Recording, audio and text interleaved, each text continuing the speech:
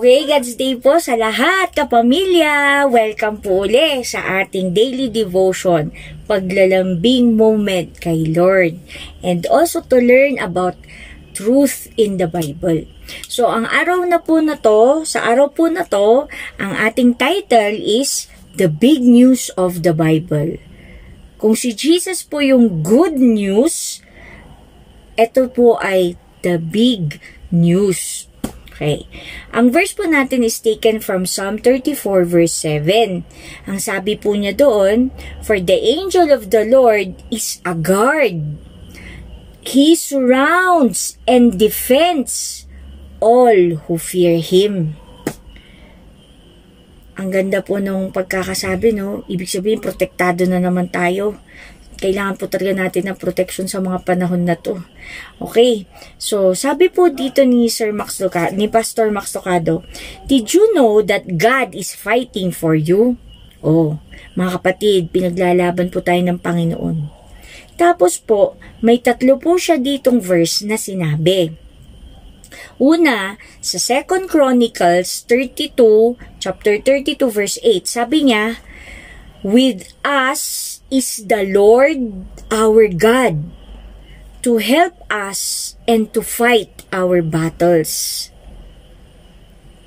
Tingnan yun, hindi lang niya tayo ipaglalaban, kundi tutulungan niya pa tayo. Baga, imagine si God yung tutulong sa'yo.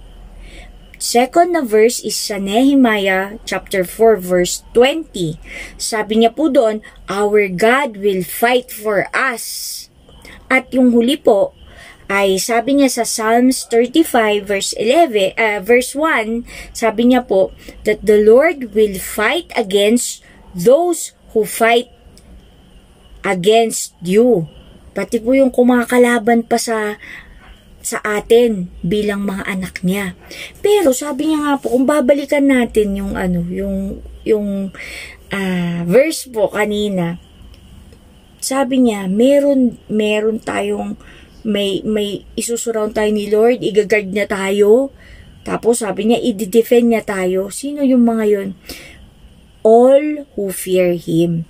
So, ang ganda pong isipin natin yun bago po, bago po ituloy dito yung sinabi ni Pastor Max Locado, para pong ini-impress ni Lord sa akin na mas sabihin ko pa po kung ano ba yung fear. Paano ba, paano ba yung fear? Sabi nga po nila, yung may reverence kay Lord, ganun lang ba yung fear? So, binasa ko po yung Psalm 34. Ang ganda po kasi, may alaala pa ako dito nung 2017. Ito po yung third day namin, 10th operation ni Angelo. Yan. Tapos po sabi po niya, itong verse po, ay ito pong Psalm 34 na to, isinulat po syempre ni King David, hindi pa po siya hari noon. Ito po yung time na hinahabol na, na, na siya ni Saul, na purbahan na pati ni Jonathan na talagang gusto siyang patayin. Tumakbo siya, tapos napunta po siya doon sa sa barangay nila ano, ba, bayan nila Goliath, yung mga Philistines. Eh di syempre po siya eh kilalang kilala. Ayan, ito po yung moment na kung ang ginawa niya, eh, wala na po, hindi na na alam ang gagawin niya, nagkunwari siyang baliw-baliw. Para siyang nagbaliw-baliwan, naglalaway, and everything. So, pero po ito po yung sinulat pa rin niya sa Panginoon. Sabi niya, I will extol the Lord at all times. His praise will always be on my lips. My soul will boast in the Lord. And I will glorify the Lord. Glorify the Lord with me. Let us exalt His name forever. Tapos sabi niya, I sought to the Lord and He answered me. And He delivered me from all my fears. Ang, yung fear po niya dito, hindi yung fear kay God, kundi fear na nandoon siya sa sitwasyon niya. Tapos po, pinas ko na yung iba at doon po yun nga yung verse natin, The angel of the Lord encamps around those who fear Him and He delivers them. So may help talaga ang Panginoon. Nagpapadala siya ng anghel. Tapos yung sa baba-baba po niya, sabi niya, Taste and see that the Lord is good. Blessed is the man who takes refuge in Him. Fear the Lord, you His saints. So it's an order. Fear the Lord. For those who fear Him, for, for those who fear Him, lacks nothing. Hindi daw po tayo magkukulang kapag meron tayong fear of the Lord. Kaya po, sa baba niya, sabi niya, Come my children, listen to me. Verse 11, sabi niya, I will teach you the fear of the Lord. So, yung po yun, ay, thank you, Lord. Tuturo niyo sa amin yung fear of the Lord para talaga bang ibang-iba po kasi pag yung Bible mismo ang nagturo sa atin, yung from the Word of God lang natin makikita, hindi yung hindi lang yung po sa dictionary lang at katang-isip lang natin. Pero sinasabi po dito ni King David na i-encamp tayo, ipoprotect tayo, isosurround tayo, if all those who fear in the Lord, eh ito na po, sabi niya. Get ready po mga kapatid ha. Whoever of whoever of you loves life and desires to see many good days, sabi niya, keep your tongue from evil kaya po yun yung pagiging, mag, meron kang fear of the Lord if you keep your tongue from evil. Naalala ko po yung sa James na pinag-aaralan namin nila Ma'am Abet, nila Ma'am Des at yung mga women's. Sabi niya nga, napaka-powerful ng dila. Mm. It can, it can destroy a person or it can build up a person. It can bring blessing and it can bring curses. Kaya nga po, sabi niya, keep your tongue from evil and your lips from speaking lies. So, doon po nakikita yung fear of the Lord natin pagka hindi tayo nagsisinungaling. Tongue from evil, ibig sabihin, yung hindi po tayo hindi po natin ginagamit yung ano natin sa pagchichismis o paninira ng kapwa o magte-testify ka ng mali sa iba. Ganun. Tapos po, sabi niya pa, turn from evil and do good. Sabi niya nga po, yung parang, huwag mong gawin yung masama at gumawa ka ng mabuti. Yun po yung pagiging, pagka may fear ka kay Lord, a- aayawan mo ang evil ways at gagawa ka ng magaganda.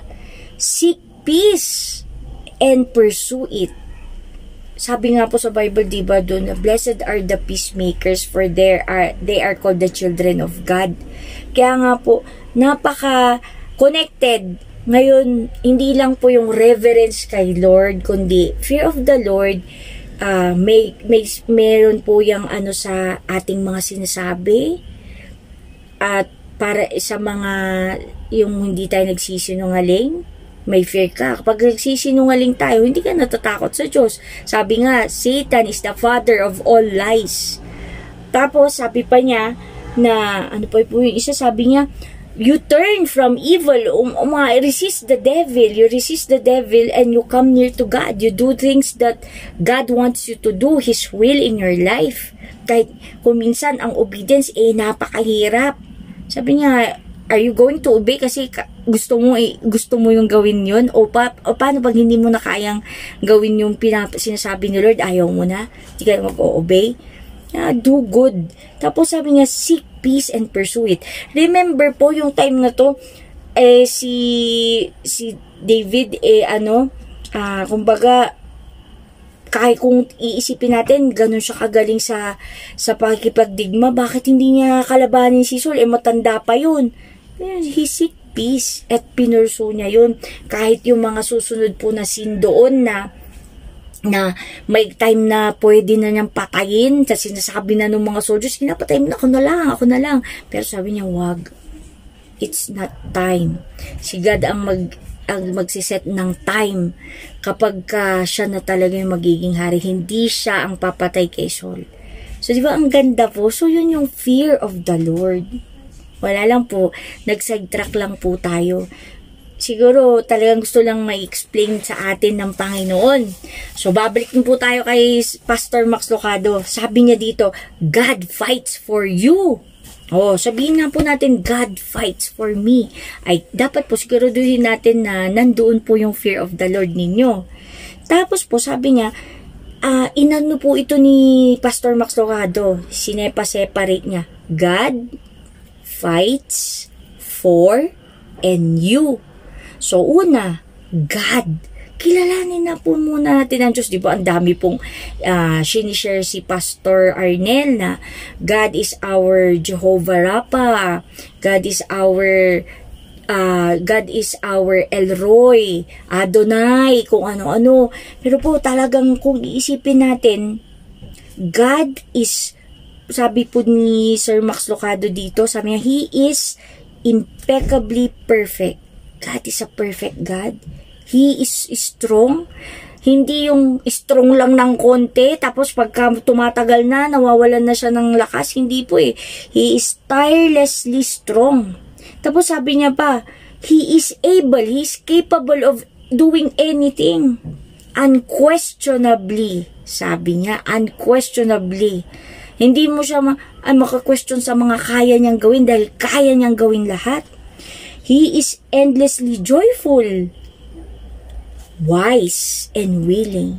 Ang tanong lang po, eh kung gusto nyong sa laban ninyo, eh kung gusto nyong kasama ang Panginoon, sa laban natin, sa laban natin araw-araw, eh kung nandoon yung, sabi ni God, willing siya eh. He is willing to be with you. He is willing to be there with you as you fight your battles each day. Sabi nga po, di ba, sa last week, body and mind, nagbabattle tayo pati sa spiritual realm. Kasama po natin ang Panginoon. Naalala ko nga po yung story ng, ng Dasparta. Diba po yung, yung mga macho men sila na nakipaglaban tapos hanggang sa huli na sabi nung isang soldier doon sa kinikilala nilang leader, sabi niya, it's an honor to fight with you side by side until the end. Di po ba? Eh, ang swerte pa po natin, ang bless po natin dahil kasama natin si Lord. At kahit na anong mangyari sa atin dito sa mundo, panalo pa rin tayo. Kaya po, pero po sabi nga, do, only those who endure Though only those who will who endure will be saved. Kaya po, ito pong laban na to, willingly si God na sinasabi niya, sasamahan kita anak. Pero laban, laban ka, wag kang, wag kang kikipap sa buhay mo. Ang ganda po, no? God pa lang yun. God pa lang. Sunod po dito, sabi niya is fights. Fights. He deploys angels and commands weather He stands down Goliath and vacates cemeteries and he fights. Sabi niya, dito po ang naalala ko, yan, he deploys angel. Ano po ba yung mga kwento sa uh, sa Bible na maalala natin na ginamit ng ang, ginamit ni Lord yung mga anghel niya. Naalala niyo si King Jehoshaphat na pinag pinag-isahan siya ng mga kung ano-anong mga grupo noon tapos hindi niya alam gagawin. Nagpray lang siya kay Lord. So sabi ni Lord wag kang, mag, wag kang mag-worry. Akong bahala. Pinadala ni Lord yung angel. Pinatay niya yung mga ano. Kung hindi man yun uh, sila sila ang nagpapatayan sa mga iba't ibang story. Pero hindi ka makakanti. Anak ko yan. Diyan nila makikita na anak ko yan. Hindi mo yan makakanti I will fight for those who fight. Sabi niya yung kakalabanin ko yung mga kumakalaban sa'yo. Basta fear of, meron kang fear of the Lord, kapatid. So yun, pag ini-imagine ko po, wala kang katalo-talo. Tapos sabi niya, He will command the weather. O, tingnan nyo, ipoprove yan ni Lord, di ba ba, yung, yung sa Egypt, Saka si Moses nasa Red Sea na. Tapos nagbago ang isip ng mga Egyptians, ng mga Pharaoh. Tapos hinakabul sila. Ay nandyan na, nginig na nginig na lahat yung mga Israelites. Pero anong ginawa ni Lord para mapatigil sila? Nagpadala siya ng ipo-ipo para hindi sila makapunta agad doon. Perfect time. Pero may kaba pa rin, may everything, may suspense, may tree, parang may climax, ano, nandyan na, nandyan na. Pero kayang ikuman ni Lord ang mga ang mga ipo-ipo, ang ang kahit yung yung thunder, naalala niyo po si Elijah nung prinove niya na si God is the only living God na kinalaban niya yung mga prophet ni Baal na naku, hirap na hirap na silang kantahan ng kantahan tapos kung ano pang ginagawa sabi ni Elijah, sige Gawin, kulang yung, yung ano, yung sigaw nyo, isigaw nyo pa. Pero nung siya na, isang dasal lang, pinadala ni Lord yung, yung kidlat. Kahit na basang-basa yung yung offering yung pag sa pag-aano ng sacrifice pinaba pina pinabasa niya pa ng 12 times ng tubig soaked in water. Nagkaroon na ng tubig-tubig sa gilid. Pero isang sabi lang ni Lord. Kaya nga po ang galing no God will God the powerful God will fight at kaya niyang kontrolin ang weather, kahit ang mga anghel, uutusan niya yan. Four. Ano po ba ang four? Four na sinasabi. So, ito po yung sinasabi dito ni, sinasabi ni Pastor Max Lucado, for your health, for your family, for your faith and restoration. Are the odds against you? Is the coach against you? Is the government against you? Difficult for sure, but God fights for you. Kaya po yung four na sinasabi na doon, sa buhay natin, sa health natin, may sakit ba tayo? Tinangningan ka na ba ng doktor? Nabubroken broken ba yung family ninyo? Uh, may temptation bang kinakaharap ang magulang mo? i-restore niya yan. Yung faith mo, nanghihina ba ang faith mo sa Panginoon? Inilalaban po tayo ng Panginoon. Inilalaban niya po tayo araw-araw. At kung iisipin ko po talaga, yung pinakagrabe na nilaban niya sa atin, ay yung kaligtasan nating lahat. Wala man po dito sa ano ni Pastor Max, Max Locado, nakaka, ano po, nasasabihin sa akin ni Lord na yun yung nilaban ko sa'yo ngayon. Yun yung nilaban ni Lord sa'yo. Para sa inyo. Nilaban niya po tayo sa kamatayan. Nilaban niya tayo para hindi tayo mapunta sa impyerno. It inilalaban pa rin po niya tayo. Ang tanong, ikaw ba'y lalaban din? God has already given everything. Binigay niya na yung ultimatum si Jesus Christ na matay sa kasalanan natin. Para lang, para lang lumaban ka ngayon bilang anak niya sa buhay, sa, sa temptation, sa lahat ng pagsubok ng buhay. Tapos sabi niya, you, God fights for You, yung huli. Sabi po ni Pastor Maxocado, yes, you. You with the sordid past. Ang pakit ba ng, ano, ng mga nakaraan mo? Nilalaban ka ni Lord. Sabi pa niya, you with the receding hairline. Ako yata po yun. At sa mga iba pa. You with the absentee dad. Hindi ba responsible yung tatay mo? You with the back, bad, bad back. You with the credit. May utang ka ba kapatid? You with the job. He fights not just for the rich, the pretty, or religious person. He fights for the yours, the yours in the world. Are you a you? Are you willing? Do you fear God? Ikaw ba yun sinasabi ni Lord? Ikaw yun, anak. Ikaw yun, nat- meron kang fear, may reverence ka sa akin. Na, ikaw yung nag-o-obey. Ikaw yun. Ikaw yung, yung hindi nagsisinungaling. Ikaw yung yung nagsisay no to evil and you are doing what is right in my eyes. Ikaw yun na peacemaker. Ikaw yun. No, pag ikaw po yun, eh sa atin po ito message ni Lord. At ang kinin po natin yung pangako niya. The big news of the Bible is not that you fight for God, but that God fights for you. Kung si Jesus yung good news of eternal life, ito po yung big news. God fights for you hanggang ngayon.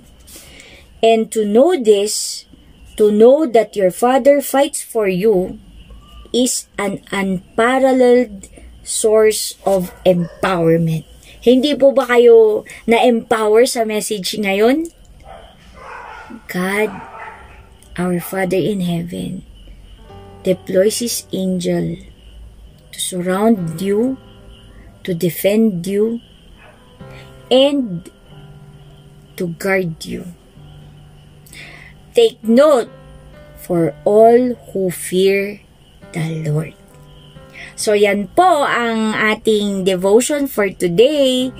Pinipray ko po na na-encourage po tayo, natutunan po natin kung ano yung dapat nating gawin and our responsibility uh, at saka po yung promise ni Lord na i-claim natin. May we all be blessed today. God's day po sa lahat. Pray na po tayo. Father God in heaven, thank you po for this uh, message, Lord, na nagbigay po sa amin ng kalakasan. Lord, tulungan niyo po kami to have a heart, Lord, yung totoo na fears you, a, a heart that fears you, a heart that will obey your words, Lord God. Tulungan niyo po kami na magampanan po namin yung kami bilang mga anak ninyo. Help us to be a peacemaker, Lord. Help us, Lord, to say no to uh, evil ways of this world and to do good and to act upon your will, Lord God, kung ano yung gusto niyong gawin namin. Salamat po, Panginoon, dahil hindi po namin kakayanin ng wala kayo sa buhay namin. Kaya po, sa araw na to, sa lahat ng mga nakikinig, uh, pinapanalangin po namin silang lahat Uh, nawa po, Panginoon, kayo po yung totoong maghari sa aming isip, sa aming puso, at sa aming kaluluwa. Help us, Lord, by the, in the name of Jesus, Lord God, pinipray po namin ito. And may we give glory and honor to you at the end of the day. Help us to fight our battles, Lord. In Jesus' mighty name we pray. Amen. Bye-bye po!